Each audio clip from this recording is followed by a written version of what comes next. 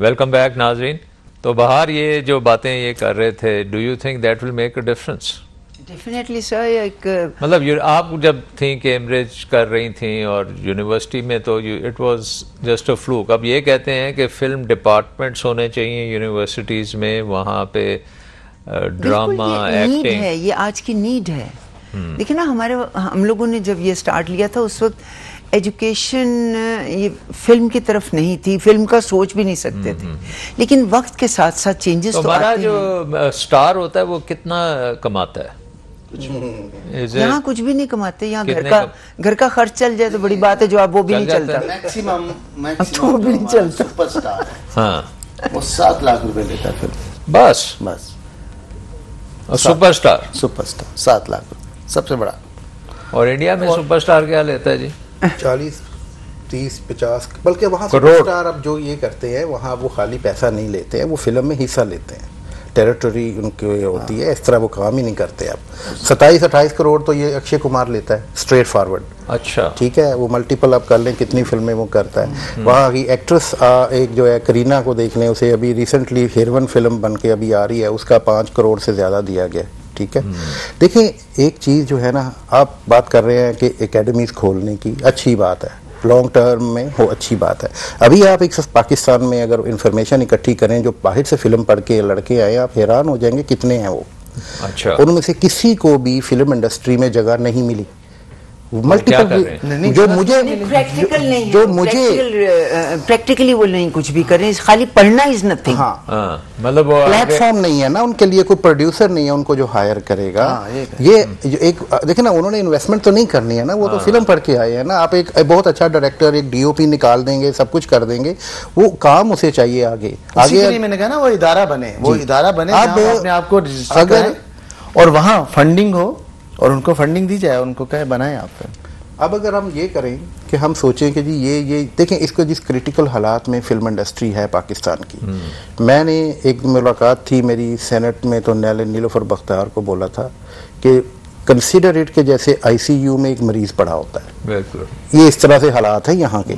ठीक है? इसके बावजूद किसी के यहाँ कुछ नहीं वो बेचारी नहीं कुछ कर सकती थी उन्होंने तो हुकूमत को आगे सिफारशात भेजनी थी। पंजाब की बात कर लें या प्रोवेंशल की बात कर लें, हर बजट में 50 करोड़ के करीब इनका सकाफती बजट होता है। आज तक इन्होंने कभी फ़िल्म इंडस्ट्री पे नहीं लगाया। किधर जाता है वो बजट पंजाबी फ़िल्मों को सब्सिडाइज कर दो यार। चलो, पंजाब में फ़िल्में बने, दूसरी जगह तो नहीं बनती हैं। बात यह है कि अक्सर ये लोग ना तो सही तौर पे उनको अपना मुद्दा बता सके हैं, ना उन्होंने इस काबिल समझा है कि इस पर अटेंशन सही की दें। खाली तस्वीरें उतारने और मुलाकातें करने से प्रोडक्शन या प्रोड्यूस कुछ नहीं होगा। रिज़ल्ट नहीं आएगा। कॉन्क्रीट रिज़ल्ट आता है। अब जैसे हम बात कर रहे हैं, करोड़ों अरबों रुपए के ऐसे नाली जो होती है ना मोहल्लों में नालियाँ बनती हैं एक एमपीए जाता है चालीस करोड़ का बजट तो वो नालियाँ बनाने के लिए ले जाता है अपने इलाके में। हाँ। जिसको कभी किसी ने नहीं देखा। फन आता है ना जी हमको फन नहीं आता है तो हुकूमत ने कभी सीरियसली सोचा ही नहीं। आर्टिस्टों को हम तो फनकार इसी गवर्नमेंट ने ये जो शुरू में बात कर रहे थे कि इसको तो आपकी जो ये फ़िल्म एसोसिएशन होंगी या कोई फ़िल्म प्रोड्यूसर कोई एग्जिस्ट नहीं कर रही है। कोई ऐसी चीज़ कोई बड़ी स्ट्रॉन्ग एसोसिएशन एसोसिएशन थी हमारी प्रोड्यूसर एसोसिएशन एक्टर एसोसिएशन और ये वक्त के साथ साथ सब जैसे ही डिक्लाइन आया ना जी। तो मतलब पाकिस्तान ने क्या ये आ, अपने मुल्क में हमने डिसाइड किया कि फ़िल्म इंडस्ट्री होनी नहीं चाहिए? Is that what is going on यही चाहते हैं जो इंडियन फ़िल्म को प्रमोट कर रहे हैं यही चाहती है शायद गवर्नमेंट यही चाहते हैं शायद पाकिस्तान के लोग। जो देखें सर आई एम सॉरी कि जहाँ आप फ़िल्म वालों को नफरत की निगाह से देखें। हम्म। जहाँ आप अपनी बेटी को भेजना न चाहें जहाँ आप अपने बेटे को ये कहें कि तुम डॉक्टर बनो इंजीनियर बनो डायरेक्टर नहीं बनो तो वहाँ कैसे इंडस्ट्री फल फूल सकती है? हिंदुस्तान की हम बात करते हैं हिंदुस्तान में तो अदाकारों के लोगों ने मंदिर बनाए में उनकी पूजा होती है। हम्म। उनको पूछते हैं लोग। अच्छी कोई आर्टिस्ट लड़की है तो उसका रिश्ता पहले होता है। सो so, अगर आपके पास फाइनेंसेस हो, और आप देख रहे हैं पाकिस्तान की पूरी मार्केट को। अठारह करोड़ के यहाँ पे लोग जो हैं, उनके लिए आइडियल फ़िल्म क्या आप बनाएँगे? देखिए फ़िल्म कोई भी आइडियल नहीं हो सकती। आपने तो टारगेट को ऑडियंस को टारगेट से यूथ के लिए अगर आपने बनानी एंटरटेनमेंट होनी चाहिए। हाँ, एंटरटेनिंग फ़िल्म होनी चाहिए हल्ला गुल्ला गाने डांस fantasy. हाँ। वो मैंने कब लास्ट ऐसी मूवी कोई बनाई है? 18 करोड़ की बात करते हैं आप लाहौर की मिसाल लें। लाहौर कितना होगा? एक करोड़ का शहर तो होगा कम अज कम। अगर लाहौर में आप एवरेज सिनेमाओं में जाकर देखें तो लाहौर में एक परसेंट का भी एक परसेंट है जो फ़िल्मों देखने के लिए सिनेमा में जाता है। एक परसेंट भी बंदा हो तो एक लाख बंदा रोज फ़िल्मों में जाना चाहिए सिनेमा में अगर एक परसेंट भी हो। उसका भी एक परसेंट निकालें तो एक हज़ार बंदा होगा जो सिनेमा में जा रहा है आजकल। एक हज़ार आजकल। भी नहीं जाता। वो भी वही एक परसेंट का भी नए बने ठीक है ये डिफेंस हाँ। इधर उधर अब वहाँ तो there always packed house only for one week Pakistan में पाकिस्तान में ये जो है ना हालात जिस स्टेज पे पहुँच गए। विदाउट फाइनेंशियल सिक्योरिटी कोई बंदा इन्वेस्टमेंट नहीं करेगा।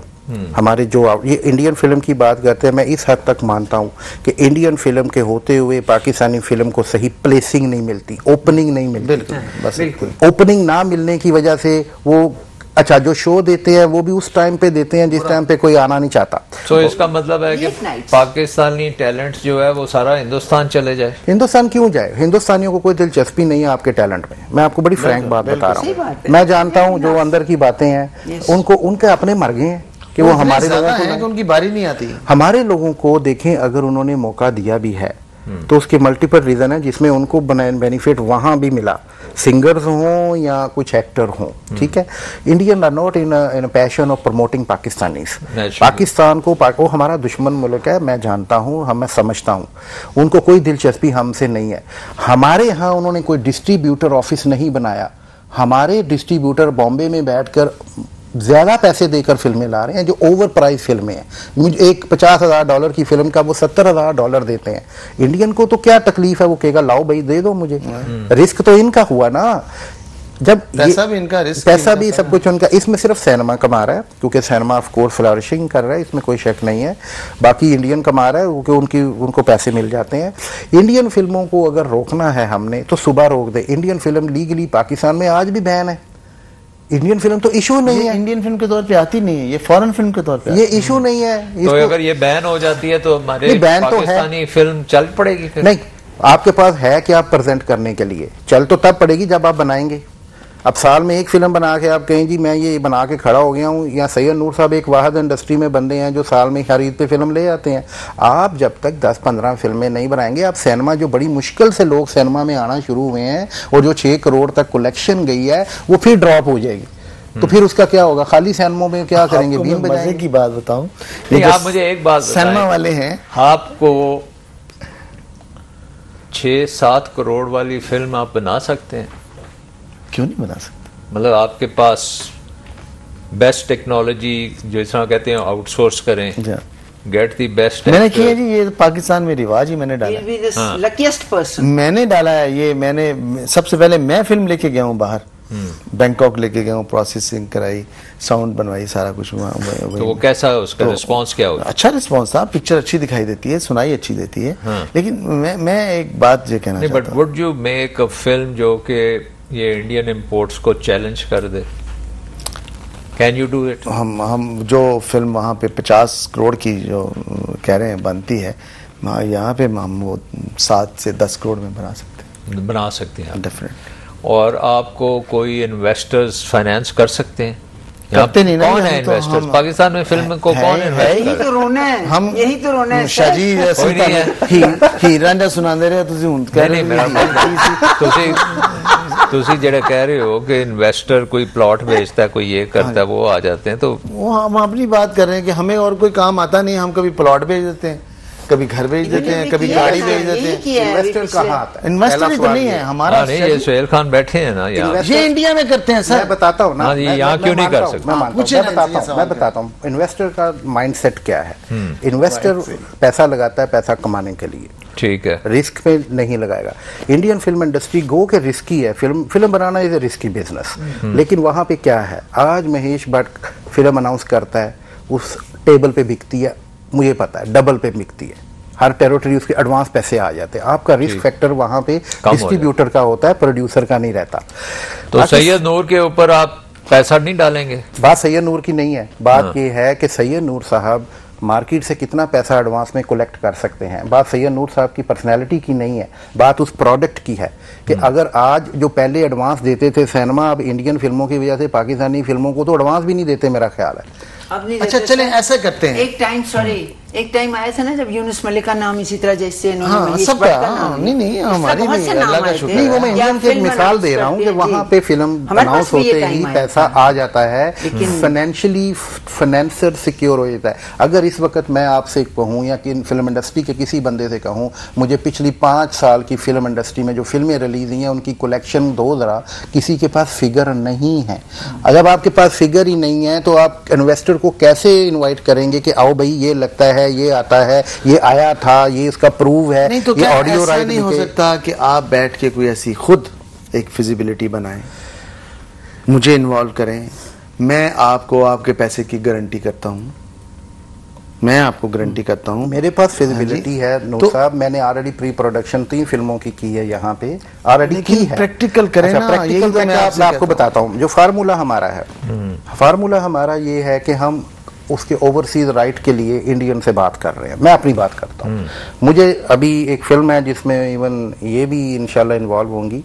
उसमें हमारी बातचीत चल रही है ओवरसीज राइट की। अब देखें पाकिस्तान में सेटेलाइट राइट नहीं बिकते।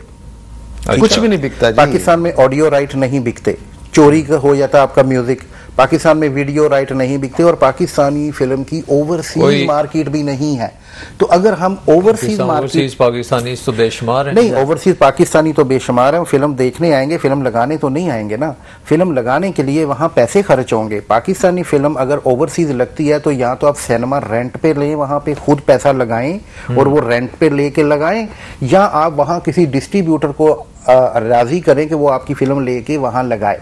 There is no third option ना तो पाकिस्तानी फ़िल्मों की मार्केट वहाँ इसलिए नहीं है कि आज तक जो वहाँ पे पाकिस्तानी एक दो चार फ़िल्में गई भी हैं उनका कोई ज़्यादा अच्छा बिज़नेस नहीं हुआ। फिगर आप फिगर देखें ना कि वहाँ रिज़ल्ट क्या। मिला।